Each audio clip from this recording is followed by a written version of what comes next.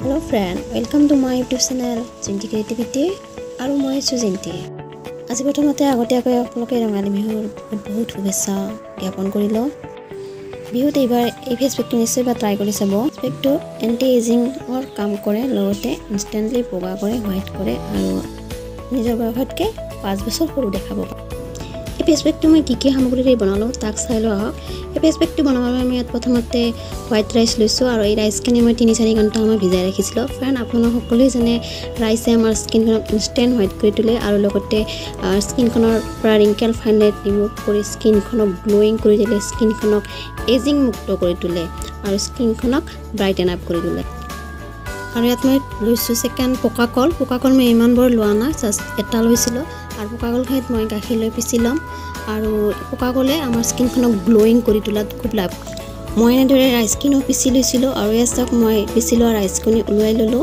আৰু মই ইয়াৰ পৰা দুই চামুচ ৰাইচ পেষ্ট লৈ ল'ম। চাওক মই ৰাইচ পেষ্ট লৈ ল'লোঁ।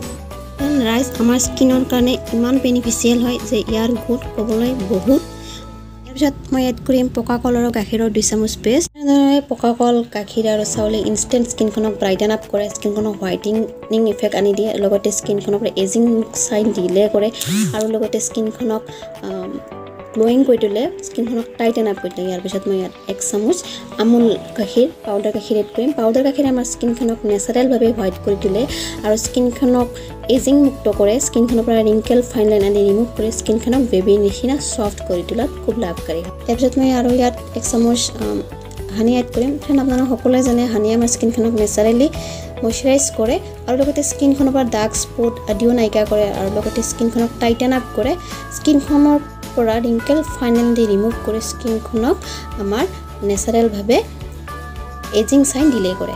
ফ্ৰেণ্ড প্লিজ চেনেলত যদি প্ৰথমবাৰ আছে চেনেলটো ছাবস্ক্ৰাইব কৰি কাষত থকা বেল আইকনটো হিট কৰি দিব যাতে মোৰ নতুন ভিডিঅ' আহিলে আপোনালোকে নটিফিকেশ্যনটো পায় আৰু প্লিজ ভিডিঅ'টো এটা লাইক কৰি দিব। চামুচ ইয়াত পগাই লৈ গুড় মিঠে এড কৰিম।